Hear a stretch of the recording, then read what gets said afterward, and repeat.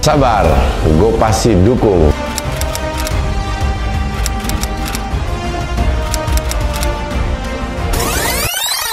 Editornya lupa.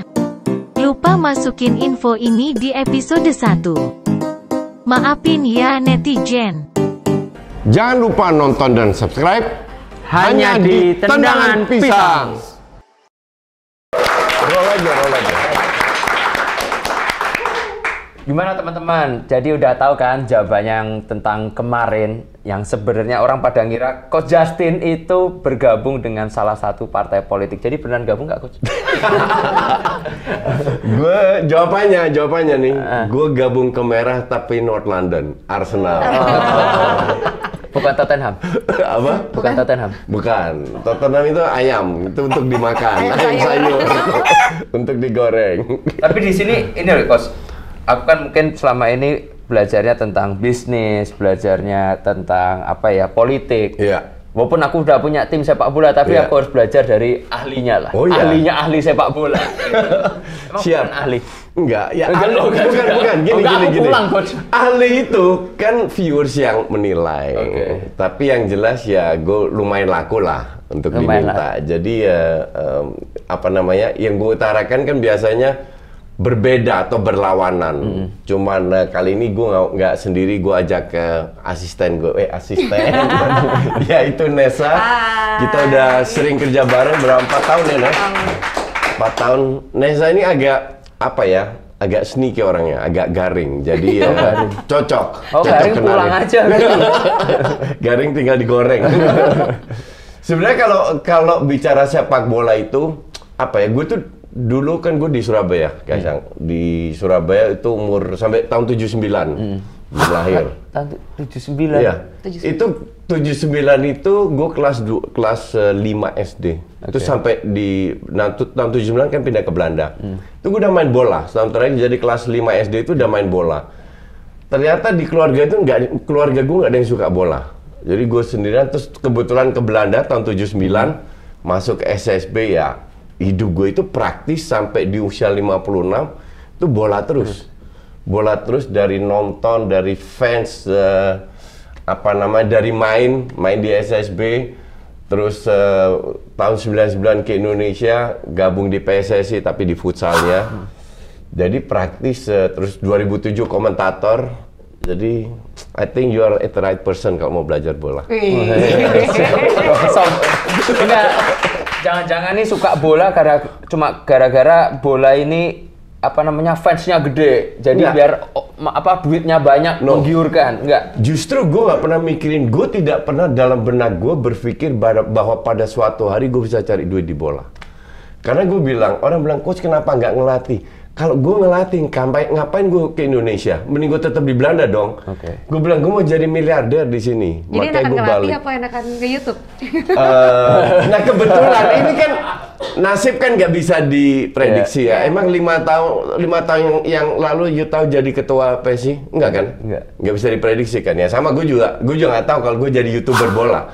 Karena dulu waktu ngelatih timnas itu juga hobi.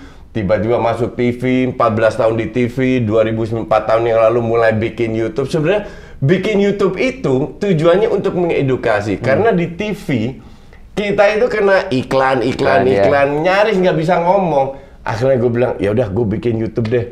Itu bener-bener nggak ada tripod, nggak ada mic, bener-bener dari handphone, Pakai laptop buku. dibuka Oh, dari bawah, jadi eh, view-nya ke atas gitu kan. Itu berapa bulan? Tiga bulan baru gue beli tripod yang 125 ribu. Kayaknya udah mahal banget itu. gue cari yang gocapan nggak nemu itu. Belinya online kan. Jadi mulai dari awal situ lihat, eh kok make money? Ya kan kita tujuan make money kan. Iya, iya pastilah.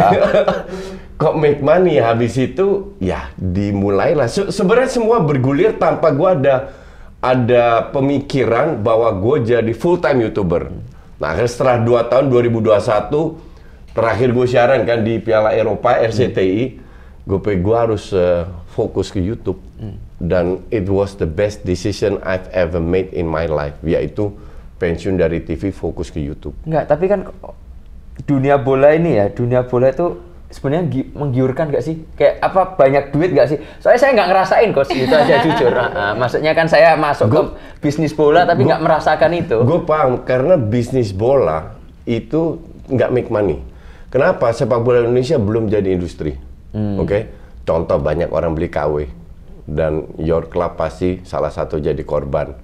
Keluarin jersey-jersey bagus, kelihatannya satu stadion pakai jersey Iya. itu setengahnya KW, ya kan? Bisnis bola itu dinilai dari valuation.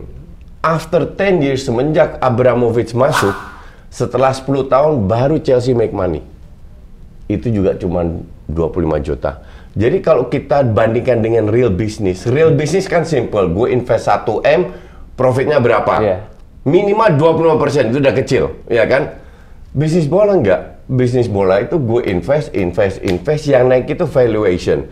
Tapi yang penting pemasukan dan pengeluaran imbang karena diawasi oleh UEFA, financial fair play. Jadi nggak boleh terlalu. Tapi kalau dibilang profit, enggak. Cuman setelah 10 tahun, value-nya naik. Apalagi kalau performanya itu eh, berjalan dengan prestasi. Jadi ada korelasinya nih antara prestasi dan dan eh, investasi. Kalau prestasinya bagus, nggak usah juara lah, masuk Champions League terus, runner up, sponsor tambah datang, kebanyakan, ya kan? Nah kalau income-nya banyak, bisa beli pemain lebih mahal. Nah kalau dengan beli pemain lebih mahal, bisa perform kecuali MU ya beli pemain mahal tapi eh, Ya tetap gitu-gitu aja rank, ya. ya rank 6 gitu lah. Nggak itu emang timnya aja yang sampah sih. Iya, oke. Ya, somehow I agree with you. Jadi itulah bisnis sepak bola nggak bisa dibandingkan dengan real bisnis. Ja- Jadi gue gue heran kalau kalau you bilang kok gue nggak untung ya dari Persis Solo. Emang dia ngomong gitu kan belum ngomong kok. Nggak gue yang ngomong. Sebelum dia udah, udah, ngomong. kayaknya udah tahu. Eh, tapi walaupun gini ya, orang tahu dunia bisnis eh, bola di Indonesia ini Iya. walaupun nggak make money, tapi orang berbondong-bondong Betul. untuk beli klub bola, Iya. khususnya kepala-kepala daerah. Iya, iya exactly. Jadi tujuannya apa? Sepak bola ini kan seksi. Heeh. Gue selalu bilang, kenapa orang pengen jadi ketum? Ada dalam dalam satu se- sebuah talk show gue ditanya, apakah ketua PSSI itu make money? Bilang enggak. Ketua PSSI itu enggak make money. Kalau mungkin dapat ya side job side job kecil lah, tapi secara overall enggak. Ya contoh Erick Thohir kurang kaya apa? Apakah dia jadi lebih kaya dari dulu? Enggak sama sekali enggak. Tapi tapi exposure-nya ketua PSSI itu lebih ngetop daripada menteri. Coba tanya your crew. Siapa tahu menteri transmigrasi nggak? Atau menteri apa? Banyak yang nggak tahu. Emang masih ada menteri Nggak transmigrasi? tahu, ada. Nggak ada. ya? Sekarang udah nggak ada yang di transmigrasi. Atau wha- whatever menteri lah. Wha- Whatever menteri lah. Banyak yang nggak tahu. Tapi kalau orang tanya, ketua PSSI siapa? Pasti semua tahu. Maka dari itu, habis ketua PSSI jadi gubernur. Oh. Satu calonkan jadi gubernur. Oh. Dan ya tujuannya itu untuk exposure. Maka dari itu jadi rebutan. Dan pemilik bola pun juga. Karena rebutannya bukan berdasarkan sebuah konsep yang benar, ujung-ujungnya apa? Kagak bisa bayar pemain. Ya, itu benar. Makanya kok kita lihat kan, apalagi dia ini mau masuk ke pemilu habis itu Iya. sampai masuk Iya. ke pilkada, ini tim-tim tiba-tiba bagus semua. Iya, iya, iya, iya. Nanti kok ada di 2025 pasti sampah lagi gitu. Tahu korbannya siapa yang paling jelas? Sriwijaya. Sriwijaya FC. Ya. Itu benar-benar korban paling jelas kalau zamannya Alex Nurdin kalau nggak salah. Iya. Pas naik, wah juara Oh, semua invest invest. Beto masuk situ semua kan. Pas eh, nggak menang, wah nyungsep ke divisi dua. Sekarang kita jadi bahas dinasti sepak bola apa gimana nih? Loh, kita em, kita bahas sedikit karena gue tahu part, bukan seniornya Kaisang di PSI yaitu Helmi Yahya di- diminta untuk kelola Sriwijaya. Bu Helmi tanya sama gue, gue bilang kalau tujuannya ma- make money forget it. Ya, jangan, nggak akan make jangan. money. Kecuali kalau misalnya wah ini untuk buat politik mungkin bisa. Iya, gitu. iya, betul. Tapi ya kasihan klubnya. Iya, kan. kasihan klubnya gitu. Tapi eh, ya ini ini kira-kira eh, bahas sepak bola lokal seperti ini bisnisnya. Jadi jangan berpikir untuk main money kembali lagi kembali ke laptop. Sepak bola itu seksi. Apakah make money? Mungkin bisa make money, tapi tidak as a club. klub itu terseok-seok. Bener-bener terseok-seok, keluar duit terus. Cuman di sekelilingnya itu bisa bisa make money. Dan yang smart itu tahu siapa dilakukan. Menurut gue ya, itu Bali United. Bali United itu benar-benar mengelola klub sebagai yang sangat profesional.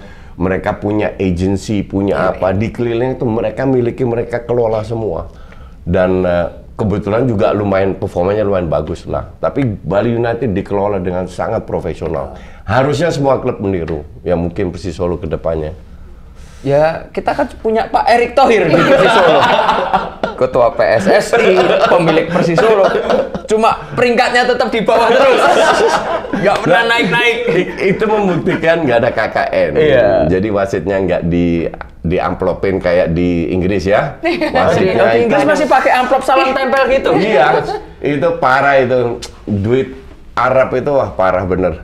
I mean gini ya, kalau kita lihat kita based on fakta ya. Arsenal, MU, Liverpool selalu dicurangin sama klub lu Man City kan Masa sih? selalu diuntungkan. Nggak pernah. Masa Pemain sih, gue sampai lo tau kemarin lawan Chelsea ya? Iya, Chelsea lawan 4-4 kan kemarin. Sebelum pertandingan gue tweet, pokoknya jangan sampai pemain Chelsea sentuh pemain City di kotak penalti, pasti dapat penalti. Dapat penalti kan, Alan? Kan ada VAR. But, Kan ada VAR. That is the problem. Itu gue juga bilang, wasit Liga 1 itu lebih hebat daripada wasit IPL. Heeh. Liga 1 bikin kesalahan itu human error. IPL bikin kesalahan dikasih VAR tetap bikin kesalahan. Jadi ber- berarti itu ngomong kayak Liga 1 nggak perlu VAR ya sebenarnya. Gak perlu Eh, di kita par nih coach. Par par perlu pay. Pakai Enggak lah. Kalau kita mau maju butuh VAR. Cuman sekarang kan tergantung apakah wasitnya bisa diedukasi untuk mengikuti itu. Karena ya gua gua rasa Persis Solo juga pernah jadi korban wasit kita kacau loh. Satu meter onside dibilang offside, satu meter offside dibilang onside. I mean, Ada sih banyak buktinya sih, cuma kan ya udahlah. ya udahlah. Tapi masalahnya sering terjadi maka dari itu VAR itu harus diterapkan di Indonesia. Dan Harus. sekarang Tapi ya, biayanya mahal. biaya itu kan bisa dicari. Kan sesimpel itu. Kalau seandainya Kenapa nggak manfaatin duitnya untuk pembinaan klub aja? nggak dimanfaatin juga kalau ada duitnya. Maka dari itu harus ha- harusnya harusnya pemilik klub itu ada ya kayak di Inggris lah. Kalau mau beli klub itu ada ada depositnya, ada income-nya, ada guaranteed by bank eh, income-nya berapa. Dan eh, ini pertama kali kalau nggak salah atau dari terakhir kali. Co- contoh ya paling bagus kalau kita bicara duit di sepak bola. Timnas itu punya sponsor yang eh, apa namanya digunakan di luar pertandingan. Dalam pertandingan kan nggak boleh pakai sponsor. Ya, biasanya kan? apa kopi Iya. luwak atau apa semua. Sekarang kan punya free sport. Dulu kan nggak punya. Kalau kita lihat Jerman punya Mercedes-Benz, Hmm. Belanda punya National Nederlanden, Peran- Perancis punya. Semua tim punya. Indonesia nggak punya. Jadi marketingnya terus di- ditingkatkan di PSSI dan itu bisa. Hmm. Tapi kan timnas sponsornya Pak Erick Thohir. Balik lagi. Nah ini gue nggak tahu apakah Pak Erick Thohir benar keluar duit atau beliau memanfaatkan karena kalau kalau gue lihat kalau lu pernah nonton eh, program gue sama Muhammad Al Katiri nggak? Heeh. Nah di situ gue bilang eh, Menteri BUM, BUMN harusnya waktu itu gue nggak bahkan Erick Thohir belum belum masuk kok atau udah cuman nggak nggak itulah kan gue bilang Mama tanya, ya siapa yang bisa menyelamatkan sepak bola Indonesia? Cuman satu orang. Siapa? RI1. Dia bingung. Kok RI1? Iya, RI1 nggak mungkin jadi ketua kan? Turunkanlah anak buahnya. Yaitu kenapa? Kalau bisa ke eh, Menteri BUMN. Kenapa Menteri BUMN? Karena BUMN punya perusahaan yang ada CSR-nya. Nah, CSR itu kan secara sah bisa dimanfaatkan untuk mengangkat sepak bola seperti yang dilakukan Jepang 30 years ago, 35 years ago, long time ago lah. Di situ mereka memanfaatkan perusahaan-perusahaan, perusahaan kayak Panasonic. Panasonic masih punya tim loh. Eh, di situ bisa dan nggak lama Erick Thohir di- ditunjuk. Bahkan untuk U17 ini kan kalau nggak salah ya PLN, Ya. eh, Pertamina sama BRI atau BNI ya. Kan I sama mean, kan di Liga 2 juga Pegadaian, Liga 1 Iya, BRI iya. gitu. Nah, bisa dimanfaatkan BUMN secara halal ya sebagai sponsor untuk mengangkat sepak bola Indonesia. Cuman yang jadi masalah kan kalau dialokasikan gimana penggunaannya. Nah, penggunaannya itu harus diawasi. Maka dari itu kembali lagi kalau bilang nggak ada duitnya lebih bagus enggak. VAR itu penting. We have to move on. Kalau sepak bola ini adalah olahraga di mana setiap lima tahun itu berkembang dari sisi teknis. Kita masa kalah sama tenis badminton. Ada eagle eye lah, apalah itu istilahnya. Sepak bola nggak ada, baru diterapkan. Sepak bola itu ketinggalan, baru diterapkan VAR, diterapkan ini itu. Jadi kalau kalau lu bilang eh, lebih baik buat pembinaan, enggak pembinaan iya, VAR juga. VAR juga tetap ya coach ya setuju Ya. ya, Masuk Indonesia. Oke. Dan ini banyak keluarga di Eropa kan jadi pemilik klub juga ya Mas Kaisang ya? Seperti keluarga dia. Iya. Dinasti bahkan sampai di sana. Jadi, cuman apa namanya? Ya, emang sepak bola Eropa itu kan apa ya? Sebenarnya sama. Kembali lagi pemil eh, punya klub bola itu seksi. Kalau kita ingat tahun 90-an di Itali, itu orang kaya semua. Oke? Mereka beli klub. Agnelli beli, Berlusconi beli, beli klub kan. Tujuannya apa? Bukan untuk make money. Karena klub di Serie A dikelola sebagai kayak pet, kayak binatang simpenan, peliharaan. Eh, sehingga mereka nggak peduli. Pada nggak punya stadion sendiri nggak dikelola sebagai perusahaan. Terus tahun 2000 dilanda krisis ekonomi kolaps semua. Sampai sekarang kan baru pelan-pelan bangkit. Nah sama kayak eh, kayak sebagai pemilik kita lah. Arab itu kan punya segalanya. Ibarat ngeludah aja duit keluar itu Iya kan? Sampai mereka bisa akhirnya mereka butuh exposure yang smart itu yang dilakukan bukan Man City, tapi Qatar. Qatar itu beli PSG kan. Iya. Apakah PSG bagus? Enggak, enggak, enggak bagus. Tapi dengan punya PSG, pelan-pelan mereka bisa ngelobi datengin sepak bola. Nah, sepak bola Qatar ini untuk mengangkat Qatar kan. Qatar kan sirik sama Dubai. Nggak ada bola, nggak ada apa-apa bisa jadi. Karena fokus ke tourism. Iya. Nah, ini yang mereka mencoba. Nah, setelah Qatar lakukan, Saudi sekarang melakukan. Invest gila-gilaan, ya Ronaldo 200 juta ini kan ridiculous. Ga- gaji setahun ini gila. Tapi Ronaldo datang, yang lain juga datang. Walaupun afkiran semua pemainnya, tapi it's okay. At least daripada orang dari orang nggak kenal Liga Saudi, tiba-tiba mereka kenal Liga Saudi.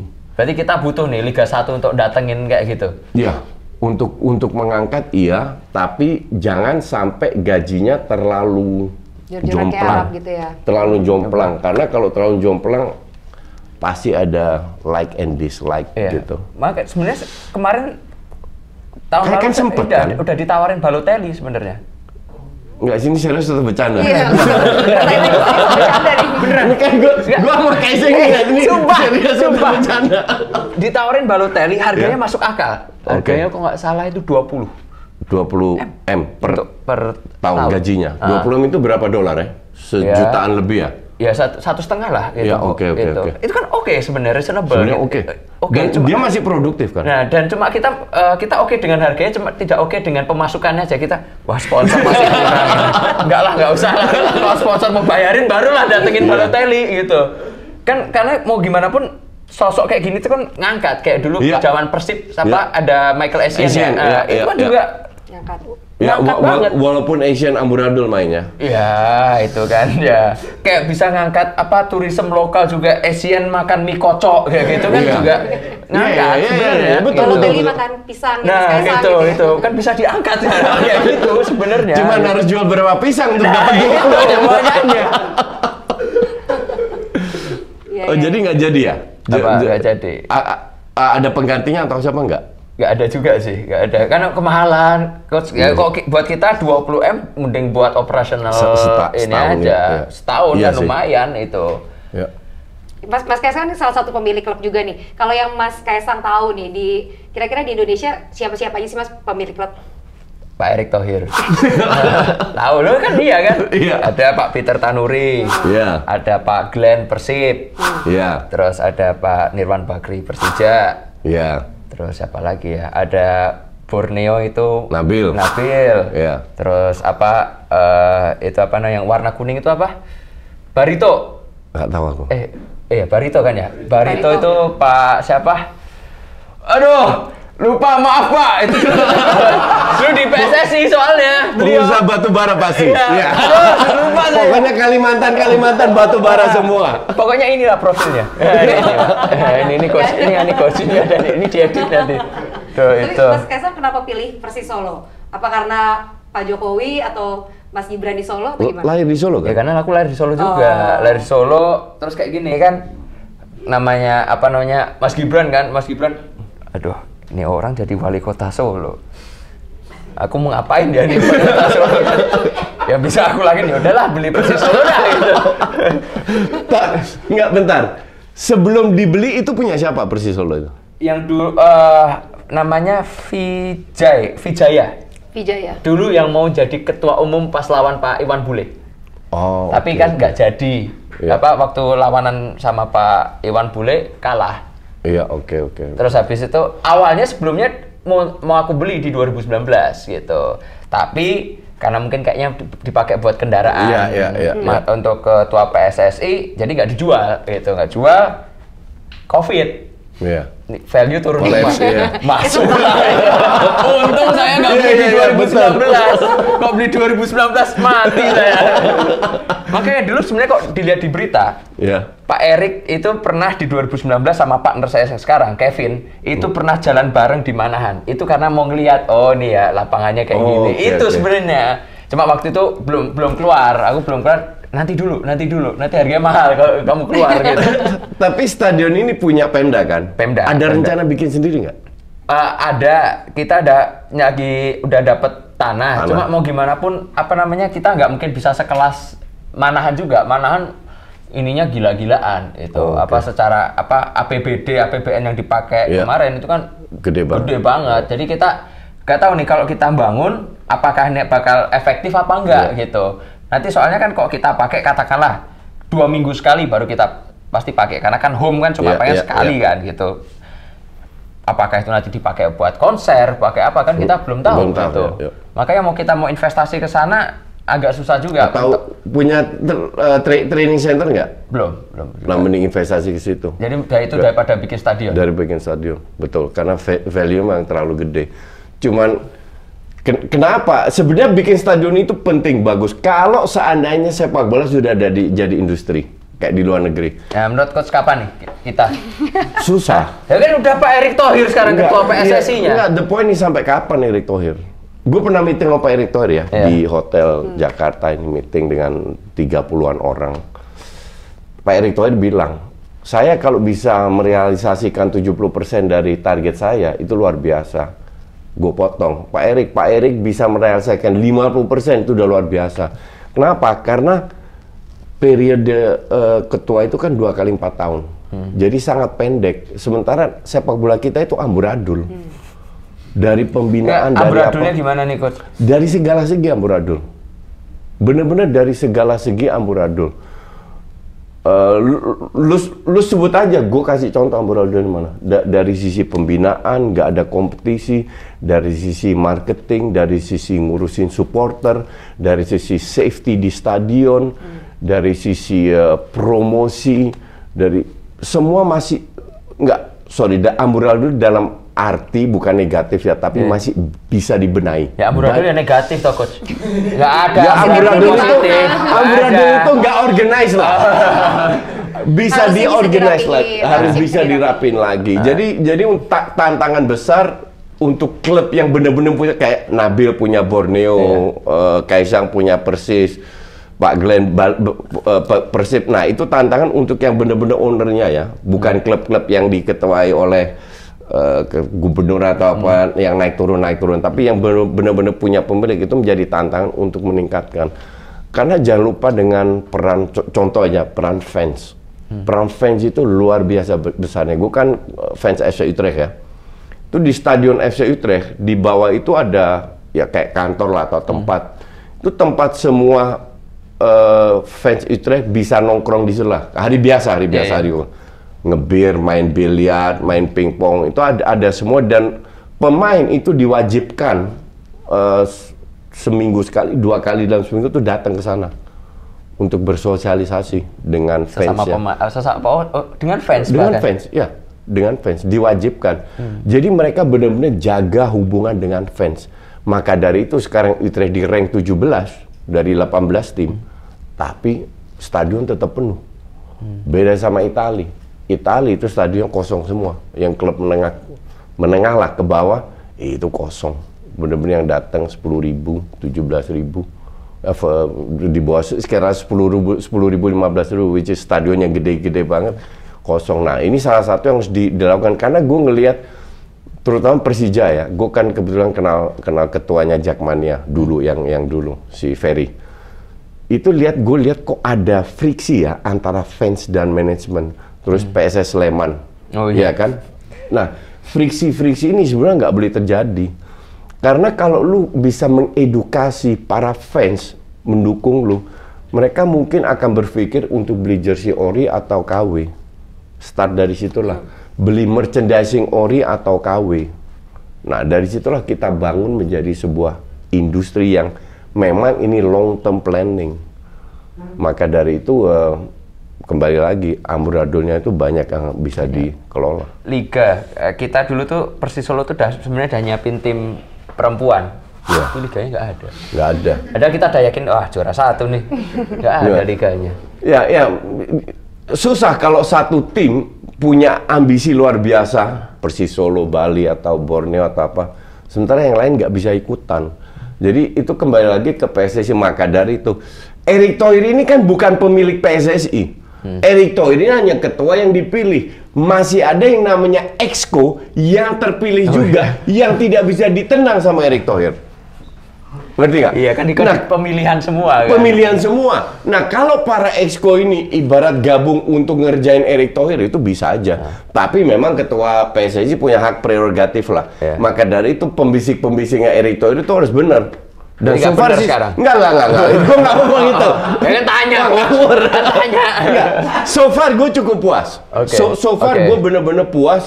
Dan kan gue bilang, Justin kenal Erick Thohir pasti jadi busernya Erick Thohir apa? Eh listen, nggak semua itu harus bisa dibayar, oke? Kalau gue kritik kayak kemarin timnas main amburadul kan, Oh, iya. Yang- itu gue kritik. Yang mana nih timnas yang mana dulu? Dua-dua amburadul. Oh, dua-duanya. Jadi dua-dua gue kritik dan gue nggak peduli. Kalau jelek gue kritik, kalau kebetulan bagus ya gue gue sebut. Bahkan gue itu tahun sekarang di Indonesia tuh 24 tahun, gue berani bilang ini salah satu-satunya ketua yang bilang, hey, I see uh, light at the end of the tunnel. Jadi masih ada secerca harapan kecil bahwa kalau selama ini dipegang Erick Thohir terus ya, maka dari itu bagus dia nggak jadi wapres, cawapres. Oh, Oke, jadi Pegang berharap aja. Pak Erik seumur hidup jadi ketua PSSI ini. Sayangnya nggak bisa. Sayangnya nggak Ta- bisa. tapi at least kalau beliau mundur, penggantinya sevisi lah. Siapa yang bisa kayak gitu? Koci. Iya. Enggak. Kaisang mungkin. Enggak, aku sa- sama-sama PSSI, aku ah, S-nya kurang satu.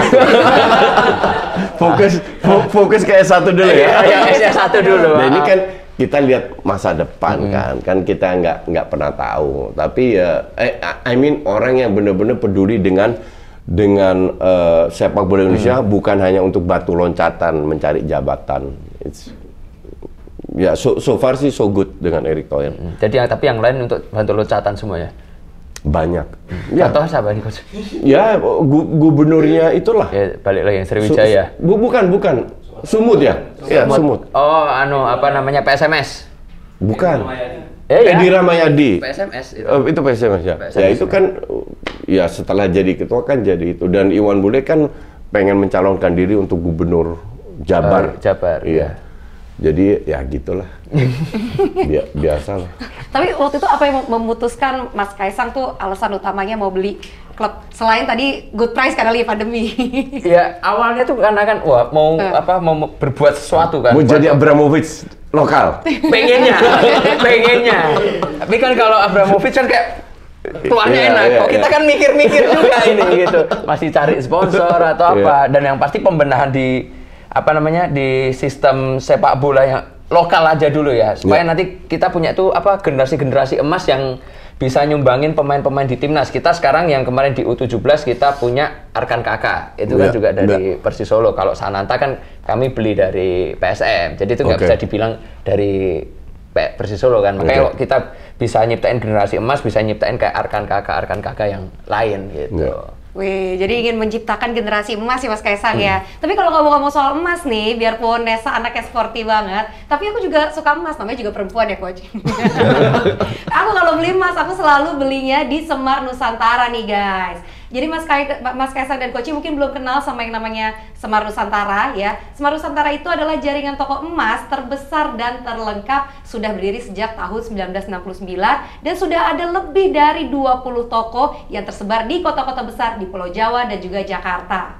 Semar Nusantara ini menjual perhiasan berstandar internasional dengan kadar 10 dan 17 karat.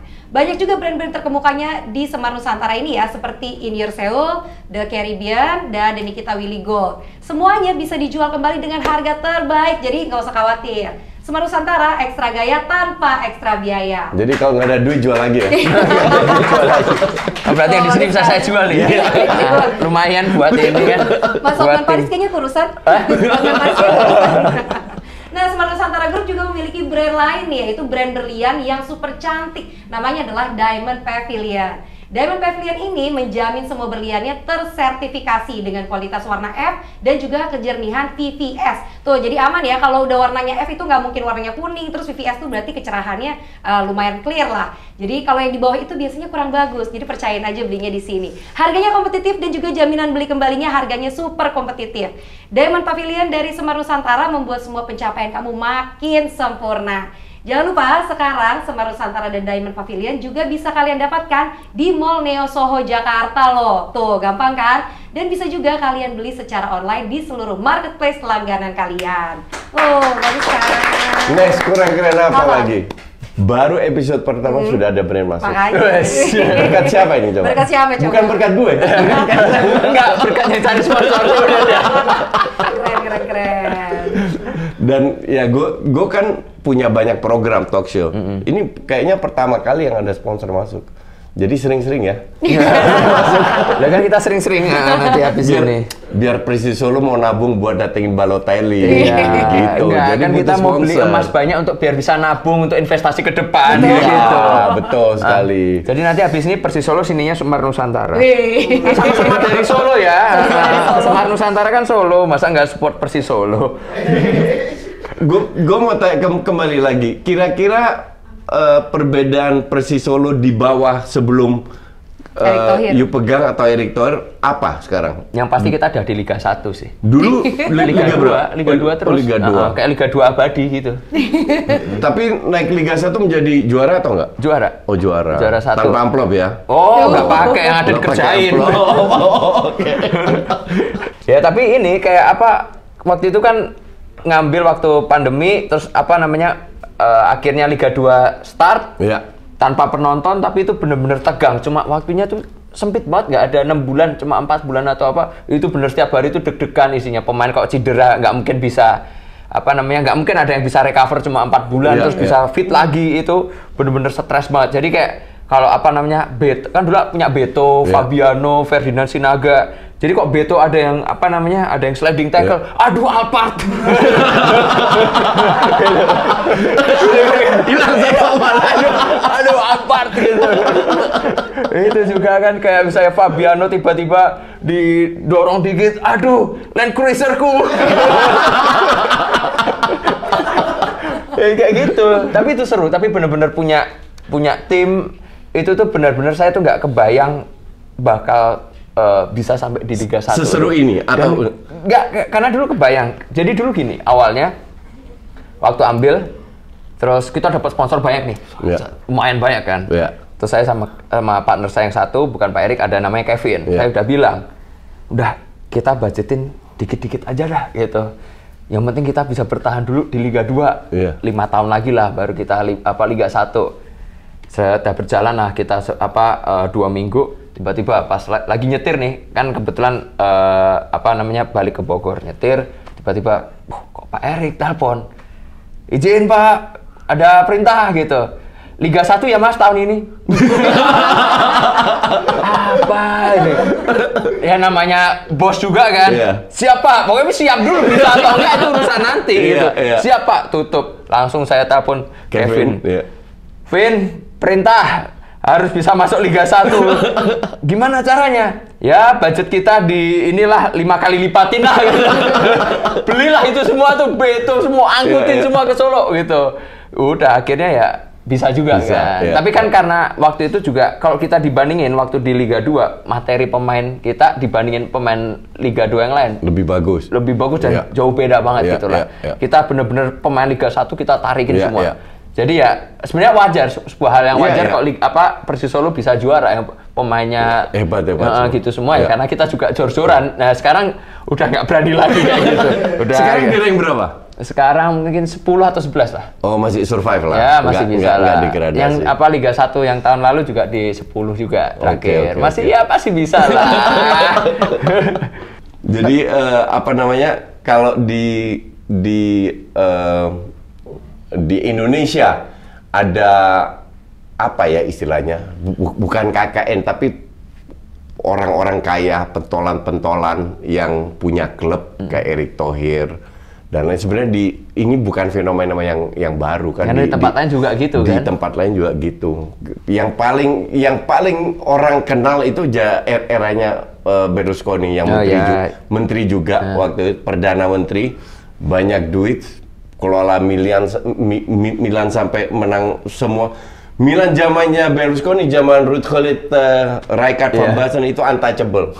Itu benar-benar gila mainnya. Memenangkan segalanya. Tapi kembali lagi kalau ya kembali ke kepentingan ya. Iya. beliau kan kena kasus berapa kali kasus terus Milan dikelola dengan ini fans Milan juga ini ada yang fans Milan ya? Oh, ada juga. Ada juga yang fans nggak Milan. yang nggak nggak nggak jelas kelolanya akhirnya kolaps dan pelan setelah dijual ke Amerika Hmm. pertama kan dijual ke China terus jual ke Amerika investment company jadi pelan-pelan sekarang eh, naik nah kalau di di Indonesia em, kira-kira seperti ini nggak dengan dinasti kayak di di Eropa itu lebih memanfaatkan jabatannya habis itu kalau turun jabatan bisa kolaps atau Iya. apa prediksinya seperti apa Ya bakal kayak gitu lagi. Apalagi ini kan lagi pemilu kan, Iya. pemilu pilkada, bupati semua gubernur ada punya beberapa tim, ya udah pasti dipakai untuk Naik. bisa naik gitu. kalau nggak menang kalau dia nggak nggak menang, udah pasti gagal lagi. harusnya itu kan ada aturan Eh, dari itu pasti sel- PSSI. selalu kayak gitu nggak tahu cycle Iya. lima tahunan itu. iya dan itu kan tidak mendukung sepak bola Indonesia Iya. Ya karena dia cuma yang penting duitin, menang, udah betul tinggal. Udah. Selalu kayak Iya. gitu. Enggak, itu kan harusnya PSI kalau menurut gue ya, harusnya ada aturan. Ini contoh aja. Redcliffe mau beli MU, oke? Redcliffe mau beli MU sama Qatar bersaing. Tiba-tiba eh, FA Inggris bilang, kalau mau beli, sekarang nggak boleh ngutang. Jadi harus pakai duit sendiri. Akhirnya Redcliffe dari 100% turun ke 25%. Karena duit cashnya nggak nggak nggak cukup. Harusnya di Indonesia juga Erick Thohir, terutama Erick Thohir, eh, berani melakukan tindakan seperti itu. Dalam arti, ya harus ada aturannya. Kalau lu mau beli klub, ibarat belinya cash, nggak boleh ini, nggak boleh pinjam, nggak boleh harus jangka panjang, harus punya deposit atau bank guarantee bahwa lu bisa survive lima tahun ke depan, kayak begitu. Nah, yang harusnya ada tuh deposit karena balik lagi gimana gini ya, gini ya coach, kayak beli tim itu kan sebenarnya murah, apalagi di Liga-Liga Iya. 2. 1 2 M udah kebeli iya, gitu. betul. Apalagi yang di Liga 3 jauh lebih murah lagi. Iya. Dibiayain 1 2 M, menang di sini pemi, apa pilkada menang udah tinggal. Karena udah nggak ada kepentingan politik Iya. lagi. Mau gimana pun sepak bola ini nggak bisa lepas dari apa ya, kepentingan politik lah gitu. Mesti selalu dipakai karena balik lagi sepak bola ini fansnya gede, supporternya banyak, seluruh Indonesia itu supporter sepak bola semua, pasti ada kepentingan politik selalu dipakai di Ya, situ. ma- maka dari itu eh, menjadi tantangan buat Erick Thohir bagaimana beliau membuat sebuah sistem di mana nggak bisa jual beli lagi. Itu kayak kayak di futsal ya. Zaman gue pertama kali sama temen lu Hans bikin Cosmo kan eh, tahun 2006 kok nggak salah. Itu setiap tahun Kaisang, setiap tahun sampai detik ini selalu ada klub yang dijual. Setiap tahun. Jadi nggak ada satu tahun klubnya itu-itu aja. Ada yang nggak sanggup, sama juga jadi uh, ke kepentingan lah, jadi mau jadi bupati atau apa. Jadi setiap tahun ada aja klub baru. Itu kan nggak sehat. Itu kan nggak sehat. Nah inilah salah satu yang seperti yang gue tadi bilang. eh, di sepak bola itu masih amburadul karena sistemnya itu harus dirombak. Hmm, ya. agar politik tidak terlalu cepat bisa masuk untuk hanya jadi batu loncatan. Dan itu tugas Erick Thohir, bukan tugas gue. Ya, bukan tugas saya juga. Gue cuma melihat bukan- Erick Thohir bukan. bikin kebijakan apa, gue lihat kalau nggak bagus, gue kritik. kalau bagus, gue dukung. Ya intinya biar sepak bola kita lebih indah ditonton lah ya Mas ya. Iya, karena kalau ngomongin sepak bola yang indah nih, tapi kalau mau kulit yang lebih indah juga dan lebih glowing kayak istri saya yang cantik jelita, aku beliin dia produk ada nih Kim Skin, produk lokal yang sudah bersertifikasi BPOM dan aman buat bumil dan busui. Harganya juga terjangkau. Oh ini Ah, produknya. masuknya tidak indah sekali ya. ini. Ah, ah. masuknya tidak indah. Aduh. Hi- Hidup itu nggak selalu indah kan? Tapi kan maunya tetap harus indah dong. Wow, ini paketan glowingnya nih Mas. Ya, nih ada paket glowing dari Kim Skin yang paket glowing premium. Isinya ada 5 piece untuk mencerahkan kulit kusam, mencegah tanda penuaan, memudarkan flek dan bekas jerawat, serta memperbaiki skin barrier. Nah, buat yang sering di outdoor juga ada ini effortless sunscreen SPF 50 lolos uji lab, teksturnya ringan, mudah meresap, nggak bikin komedo, cocok untuk semua jenis kulit. Pokoknya kita glowing bersama, produk lokal buatan Indonesia, Kim Skin. Wih. Oke, topik kita kan tadi dinasti dan regenerasi sepak bola nih, Coach Iya. dan Mas Kaisang. Tapi kita belum bahas regenerasinya. Menurut Coach dan Mas Kaisang, seberapa penting sih regenerasi dalam sepak bola? Oh penting. Regenerasi itu, apalagi zaman sekarang ya. Gue itu bilang di Piala Dunia U17 itu banyak sekali scouting. Kenapa? Industri sepak bola ini sudah tak terbendung sehingga harga pemain itu gila-gilaan. Kalau kita bicara nggak usah jauh-jauh lah, 5-10 tahun yang lalu kalau bilang pemain A harganya 100 juta nggak make sense. Pemain 100 juta nggak ada, nggak ada yang seharga 100 juta. Sekarang udah si Kaisedo nggak salah atau Enzo Enzo Enzo nya Enzo, Chelsea ya. 125 juta. Jadi harga itu udah gila-gilaan. Ujung-ujungnya klub kalau mau survive cari yang muda-muda. Nah, muda-muda itu udah bukan 18-19 lagi. Itu di usia sekarang 16-17. Maka dari itu gue yakin ini berkeliaran semua nih mencari eh, Di Piala Dunia untuk Piala Dunia ini ya. di Piala Dunia yang sekarang tadi itu banyak scouting yang yang berkeliaran di sini untuk cari pemain entah itu berasal atau enggak tapi eh, untuk dibawa ke klubnya lah syukur-syukur bawa 10 pemain satu berhasil kalau bagus kan menguntungkan anak-anak kecil kan nggak ada kos lah kasarnya begitu Ya tapi Chelsea udah datengin Enzo, udah datengin siapa tuh yang. Modric semua, udah Iya. bagus-bagus juga kayak gitu aja. Ya betul, karena scoutingnya ngawur. Mudrik kita wah parah. gue di blog sama Mudrik kena karma dia tuh. Gue di blog di Instagram makanya iya? mainnya iya. Makanya Sama Modric langsung. Sama Mudrik langsung. Biasanya coach suka ngeblokin orang, sekarang coach di blok. Sekarang gue di blog sama Mudrik dan eh, abis ngeblok gue ancur-ancuran Mudrik mainnya itu. Kualat, Oh, Kualat. berarti Modric tuh jelek karena Iya, karena ngeblok. gila. Coba di unlock dulu deh Modric. Iya, harusnya Mudrik kawan. Tapi enggak biarin bi- biar biar gue ada bahan bulian tiap minggu kalau dia main. Jadi em, lo tahu yang yang gue suka siapa dari timnas kita ya U17. Orang itu selalu bilang bek kanan sama striker. Aran kakak yang yang dibilang oh ini di diincar tim luar Iya, negeri. udah diincar emang. Iya.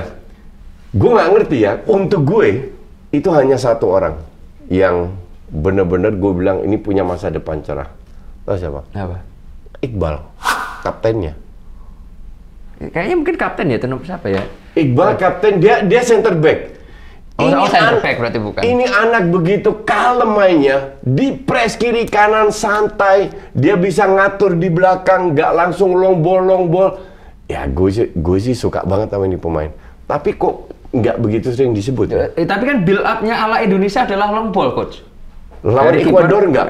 Iya. Lawan Ekuador nggak? Babak pertama lawan Ekuador itu keren banget. Tapi gue juga bingung kenapa hilang di eh, di babak pertama lawan Panama dan dua babak lawan Ma- Maroko. Ini karena menurut gue itu lini tengahnya. Back kiri, back kanan pegang bola, mereka maju ke depan, nggak bisa passing. Karena tengahnya ngilang jauh semua. Si Bin Bin nomor 10 itu udah ke depan, ngilang. Jadi mereka mau nggak mau crossing mainnya. Tapi pemain Iqbal ini untuk gue sih luar biasa nih. Muhammad Iqbal, kaptennya. Jadi ya. Jadi bagus buat main Persis Solo ya. Iya, gue serius. Ka- Kalau gue usulkan, lu beli Iqbal. Kayaknya dia masih murah, 16 Iya. tahun masih murah lah. sama kayak rekan kakak juga ini. Iya. Nggak, A- Arhan kakak kan udah punya punya udah punya Persib lah. Iya. Tapi Persib kalau bisa cari di U17-nya ada center back-nya untuk gue itu ba- bagus sama jangan jangan beli yang nomor 10 yang Korea itu lah katro itu bener. Asli banyak parah banget tuh. Padahal dia ini punya skill, cuman visinya ancur-ancuran bener. Ya kan mungkin masih bisa diperbaiki. Iya, oh, betul, betul, betul. Cuman harus di, harus orang yang bener aja bisa perbaiki dia. Oke, gue rasa cukup ya. Lama juga kita yang ngobrol. lama-lama. gak kerasa. Lama. 45 menit. Iya. Gue rasa kita juga harus terima kasih untuk eh, sponsor ya, Hmm. yang yang yang sudah percaya dengan kami dan mendukung dan eh, kalian jangan lupa subscribe. Eh, thank you. I see you when I see you. Bye bye. Thank you.